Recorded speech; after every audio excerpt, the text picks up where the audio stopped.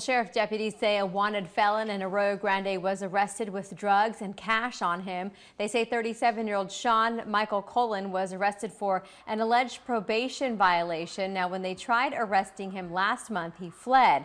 The gang task force served a search warrant at a home today on Pinecone Way. They say they found Colon with more than an ounce of heroin, 8 grams of meth, and $500 cash.